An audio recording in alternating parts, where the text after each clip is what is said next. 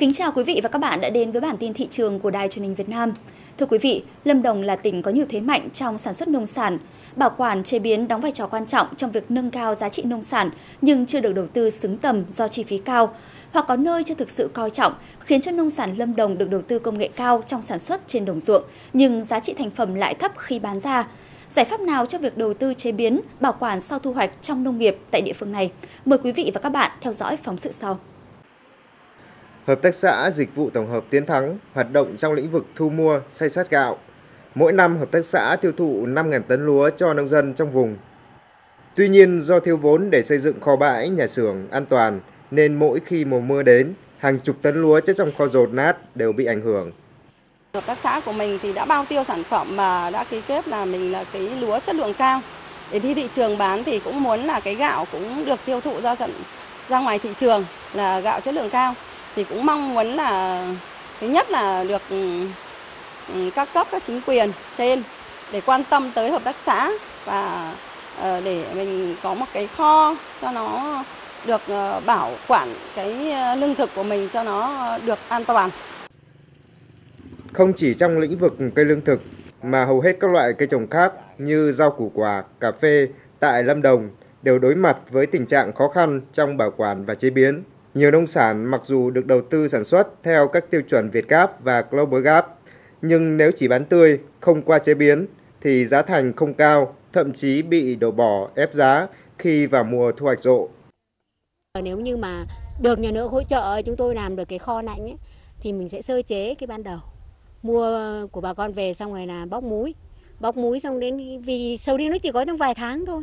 Thì mình có thể là giải ra cả một năm từ đầu đến cuối một năm xong bắt đầu là mình ký hợp đồng với người ta là bán cung cấp cả một năm ấy thì dù gì nó cũng là một cái điều tốt nhưng mà cái điều kiện của chúng tôi nó khó chưa thể làm được theo các ngành chức năng Lâm Đồng Hiện nay, năng lực của các nhà máy chế biến rau trên địa bàn chỉ đáp ứng khoảng 13% sản lượng rau của tỉnh và mới có khoảng 50% sản lượng rau được sơ chế trước khi tiêu thụ. Tỉnh Lâm Đồng cũng có 33 nhà máy và 192 cơ sở chế biến cà phê, nhưng chỉ đáp ứng từ 80 đến 90% sản lượng. Các chủng loại trái cây cũng rơi vào tình trạng tương tự, chủ yếu được bán tươi, tỷ lệ qua chế biến vẫn còn thấp. Chính do khâu bảo quản chế biến chưa đáp ứng được nhu cầu sản xuất mà nông sản Lâm Đồng vẫn đang phải đối diện với sự bấp bênh của thị trường. Điều này thể hiện rõ trong đợt dịch Covid-19 vừa qua, hầu hết nông sản đều rớt giá, một lượng không nhỏ bị đổ bỏ vì không bảo quản lâu được.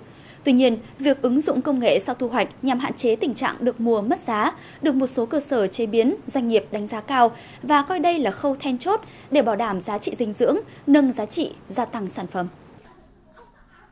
Một trong những loại nông sản nâng cao được giá trị sau khi chế biến so với bán tươi là trái hồng Đà Lạt, đơn dương. Nếu như khi chưa có công nghệ chế biến hồng sấy, hồng treo gió, giá mỗi kg chỉ đạt khoảng 5 đến 15 nghìn đồng. Nhưng với công nghệ chế biến tiên tiến của Nhật Bản, giá mỗi kg hồng treo gió đã lên đến 700 ngàn đồng. Nhờ đó, giá trị của trái hồng cũng tăng ít nhất 40% lợi nhuận so với bán tươi. Trước đây à, cái cái trái hồng của mình á thì sẽ không có giá trị, nhưng mà từ khi mình làm cái hồng treo này á thì trái hồng của mình sẽ được nâng cái giá trị lên. À, trái hồng là sẽ đấy tạo ra được công an việc làm cho nhiều người. Một số nông sản Lâm Đồng đã được chế biến thành các loại mứt dẻo, nước cốt, sấy khô để xuất khẩu. Một số loại rau củ được chế biến phục vụ cho nhu cầu ăn nhanh, được thị trường nước ngoài ưa chuộng đã tăng cao nhiều lần giá bán so với xuất tươi. Tuy nhiên, những đơn vị có năng lực chế biến như thế này trên địa bàn Lâm Đồng chỉ tính trên đầu ngón tay. Để chúng ta tổ chức cái việc kết nối uh, cái sản xuất với các cái chuỗi phân phối, đặc biệt là các thành phố lớn. Thứ hai là chúng ta tập trung kêu gọi những cái thành phần kinh tế tham gia sâu hơn vào cái khu vực chế biến. Lâm Đồng là một trong những địa phương làm rất tốt công tác khuyến công và nhờ vậy thì đã có nhiều cái cơ sở là sơ chế chế biến và bảo quản được nông sản được ờ, nuôi trồng rất là đúng quy trình bảo đảm an toàn thực phẩm.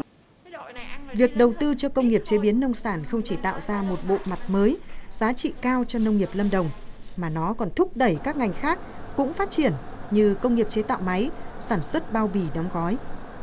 Chế biến nông sản sẽ tạo ra nhiều việc làm cho người lao động và đặc biệt là đưa giá trị nông sản Lâm Đồng không chỉ nằm ở mức bằng giá thành sản xuất ngoài đồng ruộng, mà còn vươn tầm ra thị trường quốc tế.